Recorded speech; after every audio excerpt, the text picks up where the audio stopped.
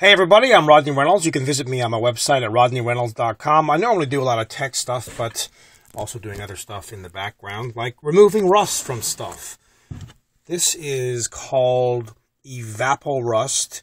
It is um, fantastic. You don't really need to wear anything when you're using this. It is uh, it has no acids, non-toxic, and also it's safe very safe to use by just about anybody. You can see the picture here on the front of the bottle.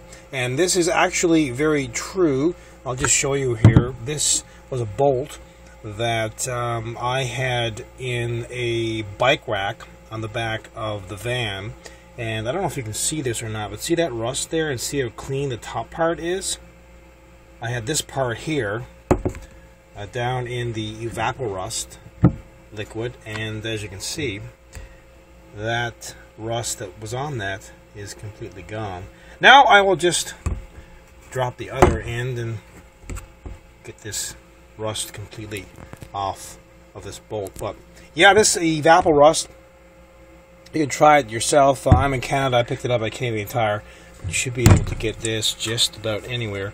Don't know if there's any information about it on the bottle as to a website or anything like that.